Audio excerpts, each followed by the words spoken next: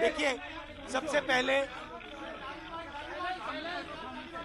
सबसे पहले मेरे फ़ोन पे अभी एक क्लिप है, जिसमें नरेंद्र मोदी जी दिल्ली को रेप कैपिटल कहला रहे हैं।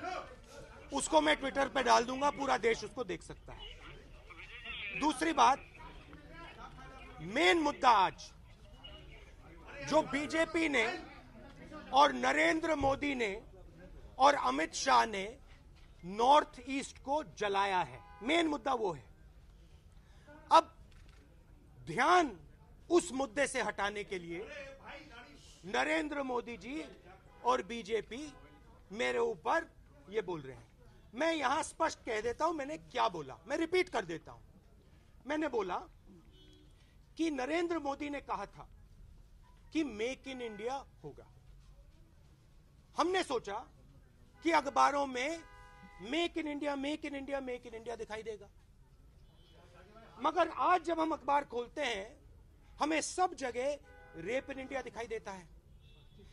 कोई भी स्टेट नहीं है जहाँ बीजेपी राज कर रही है और दिन भर वहाँ पे महिलाओं पर बलात्कार नहीं होता उन्नाव में बीजेपी के एमएलए ने महिला का रेप किया है।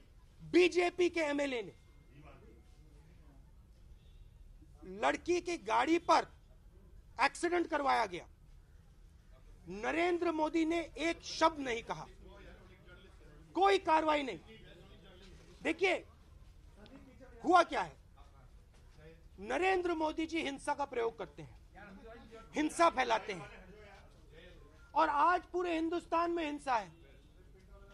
महिलाओं पे हिंसा हो रही है, नॉर्थ ईस्ट में हिंसा हो रही है, कश्मीर में हिंसा हो रही है पूरे देश में हिंसा हिंसा है।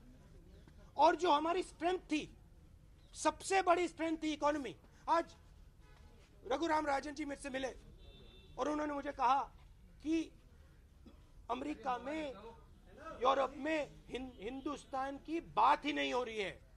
और जब बात होती है इकोनॉमी की बात नहीं होती है।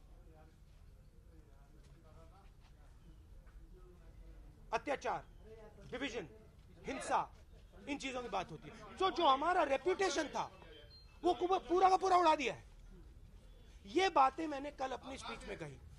नरेंद्र मोदी जी को यह भी जवाब देना है, महिलाओं की बात तो है, मगर यह भी जवाब देना है कि हिंदुस्तान की जो इकोनॉमी थी, उसको उन्होंने नष्ट क्यों किया?